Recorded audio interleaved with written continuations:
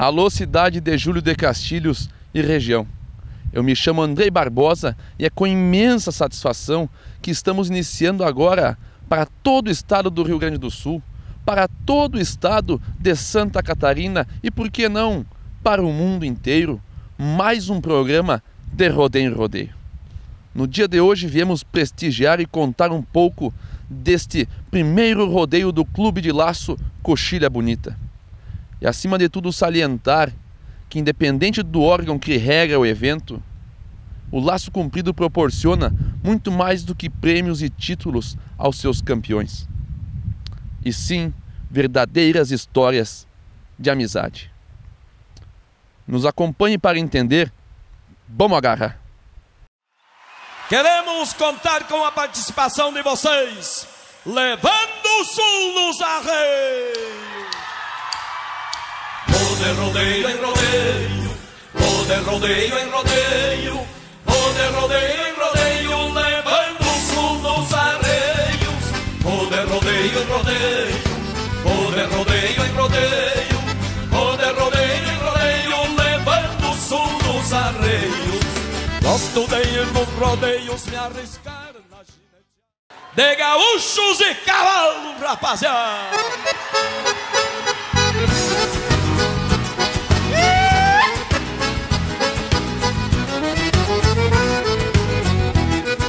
Amigos, peço licença para trançar minha rima. E daqui de serra acima cantar versos de aporfia Pra falar na valentia de gaúchos e cavalos. Pois me dá gosto lembrá-los Bom, primeiro eu quero, quero saudar o pessoal do Rodeio Rodeio, é uma satisfação imensa a federação estar aqui falando para vocês. Ah, a Federação de Gaúcho de Laço, na realidade, ela é composta unicamente de pessoas que conhecem o rodeio. Ah, nós, nós nos reunimos por não nos sentirmos representados no, no laço, e principalmente no laço esportivo tradicional do estado do Rio Grande do Sul, nós montamos, nós gaúchos, nós laçadores, nós rio-grandenses, nós tradicionalistas, nós esportistas, nos reunimos e fizemos uma entidade para a gente se ajudar. É um sistema de autoajuda, é uma família onde o respeito maior é o realizador e o, e o laçador, o nosso esportista, o nosso competidor, o nosso tradicionalista que vem nos nossos eventos. A nossa norma é o respeito. É, temos emoção à flor da pele, por causa que fazer um evento não é fácil. Tem muitos preparativos, tem muitas coisas para fazer, serviço bastante. Mas graças a Deus nós temos um fim de semana bom, né? Deu um fim de semana iluminado. Tô com meus amigos todos que vieram aí, né? Que todos que estão aqui são meus amigos, né? É, a gente se sente orgulhoso porque nós criamos, eu criei ele nesse movimento, né? Sempre esperando que ele continue aquilo que a gente já fazia, né? Eu tenho outro filho também que continua também. Então para nós é um orgulho, né? Boa tarde, boa tarde a você, aos ouvintes e também aos telespectadores aí que estão nos assistindo nesse momento. É um prazer, é uma honra muito grande poder estar de volta a Júlia Castilhos, essa cidade que a gente tem muitos amigos, se identifica muito, até porque somos aqui da vizinha cidade de Cruz Alta. E para mim, que já estou aí com 22 anos de carreira como narrador de rodeios, nos últimos três anos agora aí, narrando a Federação Gaúcha de Laço, que traz esse projeto fantástico, que é o Laço Virar Esporte. É muito gratificante para nós poder estar aqui junto com o presidente Kleber Vieira, com a nossa diretoria, com o Roberto Guerreiro, o seu Regis Paz, que tem uma história é, fantástica e gigante na vizinha cidade de Tupanciretã e conhecido e querido por muitos castilhenses. A gente tem uma identidade com esse povo. É bacana de poder vir aqui junto com os colegas narradores. Nós estamos trabalhando aqui em sete profissionais e eu aqui estou falando em nome deles, que o Guerreiro me pediu. E a narração de rodeio, ela vem a cada dia que passa e a cada ano que passa, ela vem aumentando. Cada vez está crescendo mais e a gente está feliz de estar aqui em julho, revendo os amigos, matando a saudade, ganhando essa oportunidade de poder falar com vocês, telespectadores que estão nos assistindo em casa, você. Muito obrigado pela cobertura e a gente está à disposição o que precisar. Alô, povo de Júlio de Castilhos e todo mundo que tá ligado com a gente. Tô aqui com essa piazada aqui, ó, Flor de Chaga de Laço.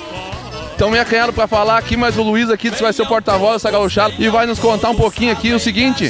Luiz, que idade tu tem, meu amigo? 13. 13 anos.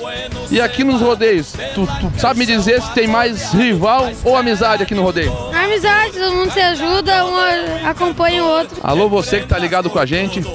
Estamos aqui agora na cidade de Júlio de Castilhos com a, nada mais nada menos do que a dupla dos sonhos, Alan Soares e Taia de Ávila. Queria saber um pouquinho da história de vocês, assim, de como vocês se conheceram. É, nós se conhecemos há bem certo a data, não vou saber te dizer, mas faz mais de 11 anos já, ah, numa festa campeira do estado. É, na verdade, nós já tínhamos se, se visto assim um pouco antes, mas foi lá na, na- naquele momento que nós começamos a conversar e começamos a ter uma amizade. E alguns anos depois já começamos a laçar juntos. É, na verdade, acho que até faz mais de 12 anos que nós se conhecemos, né? Porque ah, faz uns 11 anos que nós já laçamos juntos. E daí, todo esse tempo aí, temos essa parceria. Se conhecendo através do tio de laço, então se encontraram para laçar juntos e desde então essa parceria que deu muito certo, né? Muito sucesso, vários títulos, várias conquistas. Acredito que existe uma grande amizade nisso, nesse meio, né? Ah, o que nos motiva bastante também é a amizade, né? E viemos de famílias de que já iam lá a rodeio e tal. E os prêmios, né? Que favorece bastante a laçador hoje em dia. Tem bastante duelo que está surgindo agora para fora do estado e aqui no estado mesmo. Sempre incentivando, né? Esse esporte. Ah, com certeza, o laço comprido eu acho que é o esporte que mais está crescendo em todo o Brasil. Até em São Paulo está começando a entrar agora bastante laço comprido.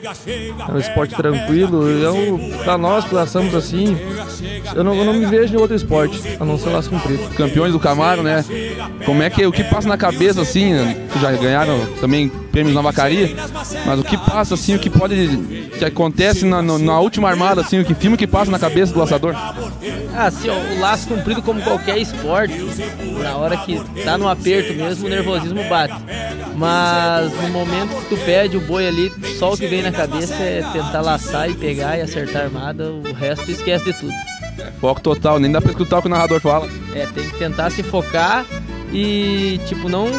Que eu passo às vezes a maioria pro pessoal assim, não tentar ir muito na pilha do narrador, tentar se focar no boi e conseguir acertar a armada. Manter o máximo a tranquilidade.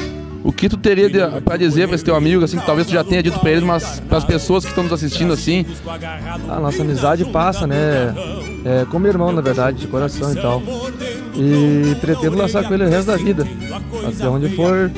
Mas eu quero laçar com ele o resto da vida, a vida inteira. Porque pra mim eu não me vejo com outro parceiro também, não ser ele. Não é irmão de sangue, mas é como se fosse, né? Como se fosse da mesma família. Né? Um irmão que a, que a vida me deu. Pra quem anda de a cavalo, se eu não derrubo de um pialo, derrubo a Cusco e mangaço. Chega, chega, pega, pega, que o zebu é cabordeiro. E então, gauchada, estamos com mais esta feita.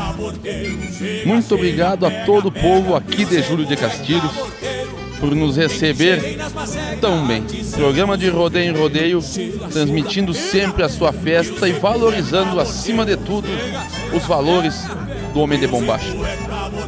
Se Deus quiser, gauchada, a gente segue se esbarrando de rodeio em rodeio, cultivando sempre os valores do respeito e da amizade. Vamos agarrar, gauchada. Thank you.